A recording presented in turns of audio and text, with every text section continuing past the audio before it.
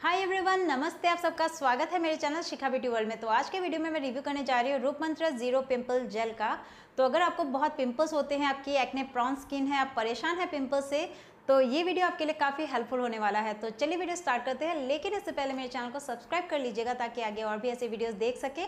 और साथ में जो नोटिफिकेशन बेल है, उसे भी क्लिक कर लीजिएगा ताकि जब भी मैं कोई नया वीडियो अपलोड करूँ तो आपको सबसे पहले नोटिफिकेशन मिल जाए। मुझे इंस्टाग्राम और फेसबुक पे भी फॉलो कर लीजिएगा ताकि मुझे और भी अच्छे से जान सके। तो चलिए वीडियो स्टार्ट करते हैं। तो ये इस तरह के कार्डबोर्ड पैकेजिंग में आता है और सामने आपको प्रीति ज़िंदा की फ़ोटो दिख रही होगी, क्योंकि वो ब्रांड एम्बेसडर है इस ब्रांड की। और ऊपर रेड में राउंड में लिखा हुआ है फिफ्टीन ग्राम इसकी नेट वेट है और ये जेल फॉर्म में है। तो पीछे आपको यहाँ पे इंग्रेडिएंट डिटेल्स मिलेंगे प्राइस डाइशन टू यूज़ फिर आ, सब कुछ लिखा हुआ है यहाँ पे शेल्फ लाइफ वगैरह। तो चलिए मैं अभी डिटेल में पढ़ के बताती हूँ आपको। इसका शेल्फ लाइफ है तीन साल M R P one thirty six rupees है और नेट वेट है फिफ्टीन ग्राम यानी कि आपको वन थर्टी सिक्स रुपीज़ में फिफ्टीन ग्राम प्रोडक्ट मिलता है। और रूपमंदर के सारे प्रोडक्ट्स दिविसा करके कंपनी बनाती है तो यहाँ पे ये लिखा हुआ है और उसके ठीक बैक साइड में अपोजिट साइड में लिखा हुआ है इंग्रेडिएंट डिटेल्स तो each hundred M L contains extract of rosemary extract flowering twig tea tree oil तो टी ट्री ऑयल जो है, काफ़ी अच्छा होता है पिंपल्स के लिए, बहुत ही इफ़ेक्टिव होता है। तो टी ट्री ऑयल लीफ है, फिर एलोवेरा एक्सट्रैक्ट है, जो कि पिगमेंटेशन वगैरह के लिए पिंपल्स के लिए भी अच्छी होती है। स्किन इन्फेक्शन रैशेस के लिए अच्छी होती है एलोवेरा। फिर मेरीगोल्ड एक्सट्रैक्ट है, फिर नींबू एक्सट्रैक्ट है। नींबू भी पिगमेंटेशन स्कार मार्क्स वगैरह रिमूव करने के लिए काफ़ी इफ़ेक्टिव माना जाता है।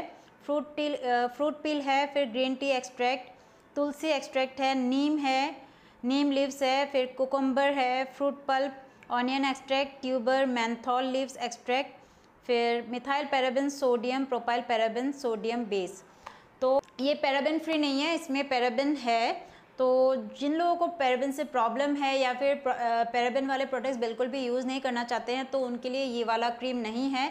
लेकिन आ, मुझे लगता है ज़्यादातर जो प्रोडक्ट्स होते हैं उसमें पैराबिन होता ही है क्योंकि ये जो प्रोडक्ट होता है कॉस्मेटिक्स वगैरह होते हैं फिर क्रीम वगैरह होती है तो उनको ये ज़्यादा देर तक प्रिजर्व करके रखता है। उसमें जैसे आयुर में होता है, वो भी हर्बल है, लेकिन उसमें पेराबिन है। फिर बोरो प्लस जो है, कितने सालों से चलता आ रहा है, कितना पॉपुलर प्रोडक्ट है बोरो प्लस हम लोग ऐसे एंटीसेप्टिक क्रीम हम लोग यूज़ करते हैं, कटने पर, जलने पर रैशेस में यूज़ करते हैं तो बोरोप्लस में भी पैराबिन है। Indication helpful in removing pimples the direction for use apply over properly cleansed affected area और whole face twice a day और as directed by the physician तो आपको साफ़ फेस पर लगाना है धोने के बाद। तो जहाँ पे आपको पिंपल हुआ है या फिर पूरे फेस पर भी लगा सकते हैं, अगर बहुत ज़्यादा एक्ने हुआ है आपको फेस पर तो आप वहाँ पर लगा सकते हैं। अवॉइड आई कॉन्टैक्ट फिर तीन साल के नीचे के बच्चों के लिए नहीं है। Not for children below three years keep out of reach of children keep in a cool dry and dark place अच्छा तो ये सब इसमें लिखा हुआ है। तो ये इंग्रेडिएंट्स थे तो टी ट्री ऑयल है, नींबू है इसमें एलोवेरा फिर नीम है तो वो काफ़ी इफ़ेक्टिव होता है पिंपल्स के लिए। तो इसे मैं काफ़ी दिनों से यूज़ कर रही हूँ और अगर आप इसे रूपमंत्र आयुर्वेदिक मेडिसिनल क्रीम के साथ यूज़ करेंगे तो काफ़ी इफ़ेक्टिव होगा और भी इफ़ेक्टिव होगा। तो मैं सुबह और रात को फेस वॉश करने के बाद वो आयुर्वेदिक मेडिसिनल क्रीम यूज़ करती हूँ। फिर जो जो स्पॉट में पिंपल्स होते हैं कभी तो तब मैं ये लगा लेती हूँ। तो अंदर इस तरह का ट्यूब आया है। काफ़ी छोटू सा है 15 ग्राम है तो आप सोच रहे होंगे कि इतना छोटा सा है। वन थर्टी सिक्स रुपीज़ में इतना कम अमाउंट मिलता है, लेकिन ये बहुत दिन तक चलेगा क्योंकि बहुत ही कम क्वांटिटी आपको लगती है। बस स्पॉट पे आपको लगाना है। और ये जेल फॉर्म में आया है ट्रेवल फ्रेंडली है तो कैप इस तरह से टाइट बंद हो जाता है। बिल्कुल भी लीकेज नहीं होता है। और छोटा सा है, इसलिए ये बहुत ही ईजिली आप कैरी कर सकते हैं। बैग में या छोटे पर्स में भी ये कैरी हो जाएगा। तो जेल फॉर्म में आया है ट्रांसपेरेंट सा। तो देख सकते हैं इस तरह के ट्रांसपेरेंट जेल फॉर्म में आया है। तो मैं अभी जस्ट ऐसे ही आपको हाथ पे दिखा रही हूँ। तो ये बिल्कुल ही जैसा पतंजलि जेल होता है, उसी तरह से एब्जॉर्ब भी हो जाता है, लेकिन स्टिकी बिल्कुल भी नहीं है। तो एलोवेरा जेल जो है, थोड़ा सा स्टिकी सा लगता है, लेकिन ये बिल्कुल स्टिकी नहीं है। और बहुत ही जल्दी एब्जॉर्ब भी हो जाता है स्किन पर। तो मुझे क्रीम काफ़ी इफ़ेक्टिव लगा तो फोरहेड में नोज़ में और चिन में मुझे पिंपल्स होते हैं अक्सर। तो बहुत ज़्यादा छोटे छोटे वाले पिंपल्स नहीं होते, लेकिन एक दो जो होते हैं वो बहुत ही पेनफुल वाले होते हैं और मैं बहुत ज़्यादा टच करने लगती हूँ कभी कभी जैसे ये होता है कि जल्दी ठीक नहीं हो रहा है, कब ठीक होगा, या फिर मैं कभी कभी नाखून लगा देती हूँ तो बहुत ही बड़े हो जाते हैं पेनफुल होते हैं और पक भी जाते हैं। तो जब से मैं ये यूज़ कर रही हूँ, मेरे पिंपल्स इतने ज़्यादा सीवियर वाले हुए नहीं हैं तो आप देख सकते हैं, यहाँ पे भी है अभी। आपको यहाँ पे मार्क दिख रहा होगा तो एकदम छोटे छोटे हैं, ज़्यादा बड़े पिंपल है नहीं, और ना ये पेनफुल है। तो रेगुलर से यूज़ करने से ये तीन चार दिन में इजीली सप्रेस हो जाता है पिंपल दब जाता है।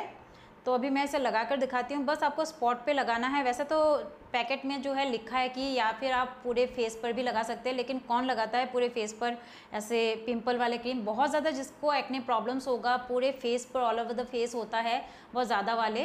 तो उनको ऐसे ज़रूरत होगी तो नॉर्मली तो थोड़ा थोड़ा स्पॉट में होता है पिम्पल तो इसे स्पॉट में ही लगाना है। तो आपको बस थोड़ा सा अमाउंट चाहिए, एक ड्रॉप छोटा सा एक ड्रॉप के समान। तो इसलिए काफ़ी दिन तक चलेगा। वन थर्टी सिक्स रुपीज़ में फिफ्टीन ग्राम लगता है कि ये बहुत ही कम क्वांटिटी मिल रही है। ट्यूब भी बहुत छोटा सा है, लेकिन इतना कम अमाउंट लगता है। तो एक ड्रॉप से आप कई जगह पे लगा सकते हैं। तो मैंने यहाँ पे लगाया, फिर यहाँ पे, यहाँ यहाँ। फिर इसको हल्का हल्का सा ऐसे रब कर दे। ये अपने आप एब्जॉर्व हो जाएगा थोड़ी देर में ही। और जब हम स्पॉट पे इसे लगाते हैं, बहुत ही ठंडा ठंडा सा फील होता है कूलिंग सा।